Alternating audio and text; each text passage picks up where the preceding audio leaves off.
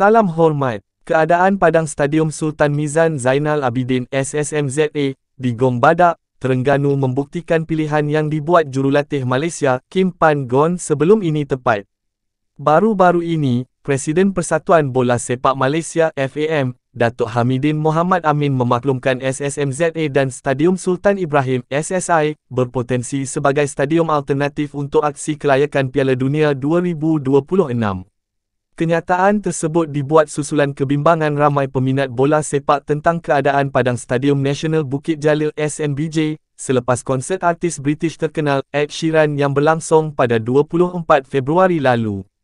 Meskipun Perbadanan Stadium Malaysia PSM memberi jaminan langkah-langkah telah diambil untuk memastikan keadaan padang SNBJ berada dalam keadaan baik, kebimbangan itu masih ada. Ini kerana ramai penyokong tidak dapat melupakan keadaan padang SNBJ selepas konsert artis terkenal Coldplay pada akhir November lalu. Keadaan padang SNBJ yang kurang baik sedikit sebanyak merencatkan kemeriahan aksi final Piala Malaysia antara Johor Darul Tazim FC, JDT FC dan Terengganu FC pada Disember 2023.